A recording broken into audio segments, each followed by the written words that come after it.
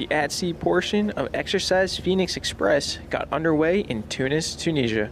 The at sea portion of Phoenix Express is five days long and involves seven partner nation ships and aircraft. The objective is to improve cooperation and interoperability during at sea maritime interdiction operations.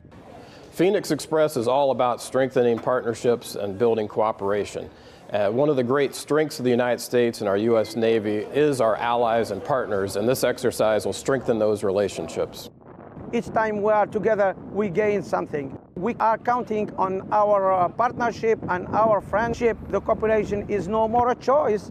It's compulsory for all nations to share information, share experience, and in this way, we're going to provide a safe maritime domain for all mariner crossing by our waters.